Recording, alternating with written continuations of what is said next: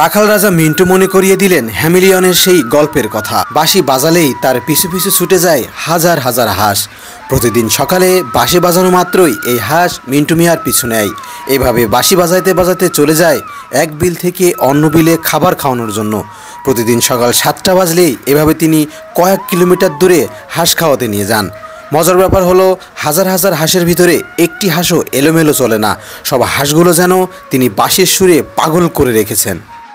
প্রিয় দর্শক আসসালামু আলাইকুম। কেমন আছেন সবাই? দর্শক দেখতে পাচ্ছেন এখানে একজন হ্যামিলিয়নের বাসিওয়ালা আছে। যিনি এই যে যেখানে পিছনে দেখতে পাচ্ছেন প্রচুর পরিমাণ হাঁস আছে প্রায় হাজার এগারোশো হাঁস। বাঁশি দেওয়ার সাথে সাথে হাঁসগুলো কিন্তু তার পিছু নাই এই শুনতাম আগে বাঁশির সুরে নারী পাগল হয়। আপনি হাঁস পাগল করলেন কীভাবে? ভাই হাঁসও পাগল আছেন আরও পাগল আছে ভাই বুঝতে? মানে কি সিস্টেমে আপনি হাঁসগুলো মানে বসে আনলেন? মুরব্বীরা বলে যে হেভি আলার ছিল বইতে পড়িছে। হ্যাঁ হ্যাঁ হ্যাঁ। তারা আমার মাঠে এসে বলছিল যে এরকম বাসি পাতা ইঁদুর মানে বিভিন্ন জীবজন্তু তার কাছে চলে আসতো আর কি। তা আমার মনে এরকম একটা এসে গেল যে আমার হাঁসটা পালছি আমার তো এরাও আসতে পারে অবলা জিনিস। আমি একদিনকে হঠাৎই বাসি বাজাচ্ছি দেখি ওরা সব আমার কাছে চলে হ্যাঁ, তারপর হলো? তারপরে আমি একদিন হঠাৎই বাঁশির বাজনা চালু করে দিলাম দিলে ওরা দেখি খাওয়ার সময় চলে আসে। মানে যখন আমি এই ছয়টা বাজবে ওই দিন ছয়টা বাজবে আমি যে মাঠে যাই পাঁচ ছয় কিলোমিটার দূরস্থ খাবাতে যাই। ওইখানে বাঁশি দেবো দিলি সব এক জায়গায় চলে আসবে কোথাও তাড়ানি লাগবে না। এগারোশো ফি হাত চড়াতে গেলে দুইটা তিনটি মানুষের রাখালের প্রয়োজন হয়। আর আমি আপনি দেখছেন তো আমার তার কেউ না আমি একাই মানে এই যে হাঁসগুলো দেখছি এই হাঁসগুলো আপনি এখন কোথায় নিয়ে যাচ্ছেন? আপনার এখান থেকে আমি ওই তিন চার কিলো হবে আর কি ওইখানে চড়াই খাওয়াই না খাবার খাবার চলে যাব এইভাবে। তিন চার কিলোমিটার? হ্যাঁ তিন চার কিলোমিটার। দর্শক আমরা আগে জানতাম যে মানুষ গরু এবং ছাগল কিন্তু অনেক মাঠের ভিতর খাওয়ায় কিন্তু হাঁস এভাবে তিন চার কিলোমিটার নিয়ে যায় এরকম দৃশ্য কিন্তু কখনোই দেখিনি। পার পিস কে কেমন? ছয়শো টাকা পিস মেয়ে হাঁস? জি জি। আর ছেলে হাঁস?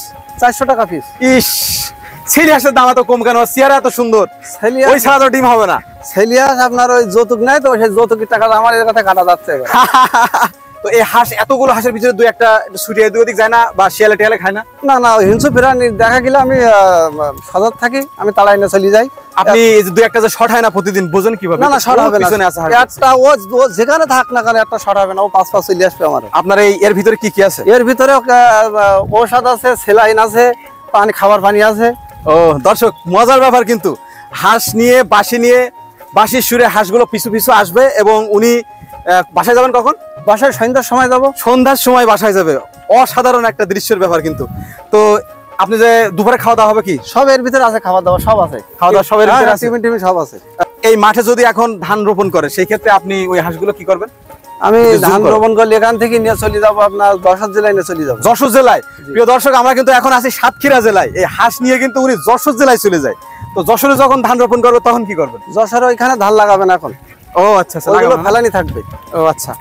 এখানে কত পিস হাঁস হাঁস আসে? হাজার এগারোশো পিস এগারোশো পিস হাঁস? জি জি।